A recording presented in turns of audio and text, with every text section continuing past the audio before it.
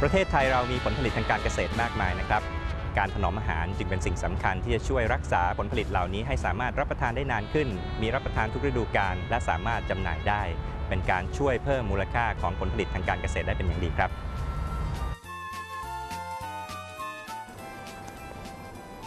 สวัสดีค่ะ ท่านผู้ชมคะวันนี้ได้มีโอกาสมาพบกันอีกแล้วนะคะ รายการวันนี้คิดว่าเป็นพิเศษ เพราะว่าเราเป็นเอาพริก ที่มีอยู่ในประเทศไทยเนี่ยมีมากหลาย ๆ พันหลาย ๆ ชนิด ถ้าหากมาทำการแปรรูปแล้วเนี่ยจะได้ผลิตภัณฑ์หลาย ๆ อย่างเกิดขึ้น กรรมวิธีนี้ไม่ได้ยากเลยนะคะ เราสามารถที่จะเอาพริกสีแดงสดเนี่ยถ้ามีอยู่เยอะ ๆ เอามานำมาใช้วิธีการตากแห้งไว้ การทำพริกอบแห้งของเรานั้นเนี่ยเราจะเวลาเราลวก เราจะไม่เด็ดก้านเลยนะคะ เอาพริกทั้งก้านพอพริกทั้งก้านเสร็จแล้วเนี่ยเวลาลวกควายความเค็มเนี่ยคือประมาณ 2%ก็คือน้ำ980 เกลือ 20 กรัม ลวกแล้วเนี่ยประมาณเนี่ย3นาที เราก็จะใช้น้ำเย็นเนี่ยราดไปบนพริกเลย จะทำให้พริกนี่สีสวยสดตลอดเวลา แล้วเราก็อบให้แห้ง แต่เมื่อไรต้องการจะป่นเป็นพริกป่นนั้น เราก็มาเด็ดเอาขั้วทิ้งไป แล้วก็สามารถทำเป็นพริกป่น ซึ่งปราศจากเชื้อรา แล้วสีก็สวยนะคะ เก็บไว้ได้นานๆ ถ้าวิธีการจะทำพริกดองน้ำส้ม เราจะเด็ดก้านพริก แล้วเราก็คือเอาไปลวกในน้ำประมาณ 5 นาที ลวกเสร็จแล้วเนี่ยที่ลวกนานเนี่ยมันจะไม่มีปัญหาอะไรเพราะเราเดี๋ยวจะต้องต้มพริกต่อ แล้วพอลวกพริกเสร็จแล้วพักไว้ให้เสด็จน้ำพริกจะแห้ง ตรียมน้ำดองเลยค่ะ น้ำหนึ่งลิตรใช้เกลือแค่ 75 กรัมนะคะ แล้วก็ต้องการความเปรี้ยวของค่าของพริกเนี่ยเราจะเก็บไว้ให้เป็นเป็นกรดถ้ามีความเป็นกรดอยู่เนี่ยสามารถเก็บรักษาได้นานนะคะ เราก็ใช้กรดมะนาวตัวนี้นะคะ เป็นตัวช่วย แล้วก็ใช้ตัวที่เรียกว่าโซเดียมเมตาไบซัลไฟต์ตัวนี้ป้องกันไม่ให้เกิดเชื้อรา เราใช้เปอร์เซ็นต์ที่ต่ำมากๆเลยนะคะ อยู่ในเกณฑ์มาตรฐานของออยที่กำหนดเอาไว้ พอเสร็จแล้วเราก็ทำน้ำส้มตัวนี้จะช่วยให้ตัวน้ำพริกเนี่ย น้ำที่ดองเนี่ยใสสวย ในการทำปุ๊บเราก็ต้องเอาน้ำตัวนี้ค่ะ ไปต้ม พอต้มเสร็จก็ใส่เกลือ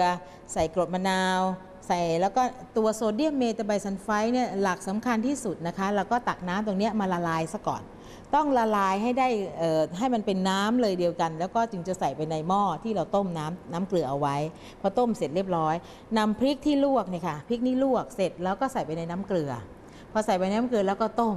ก็ต้มประมาณนี้ค่ะแล้วก็ใช้เวลาต้มประมาณให้มันอุณหภูมิที่คือประมาณสัก 80 90 อยู่จนกระทั่งเนี่ยนะครับใช้เวลา 15 นาที ถ้าเราจะทำดองอย่างนั้นไว้เลยก็ได้ โดยการเก็บใส่โหลใส่ไห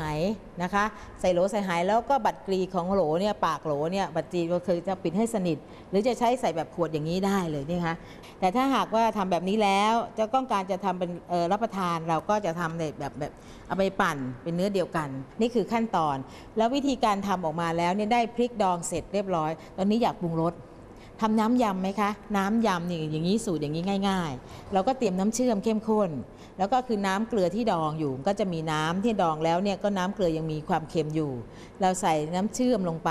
แล้วก็เติมน้ำส้มสายชู ตอนนี้สมัยนี้คนนิยมเลยรักษาสุขภาพ เพราะฉะนั้นน้ำส้มสายชูอาจจะใช้น้ำส้มสายชูหมัก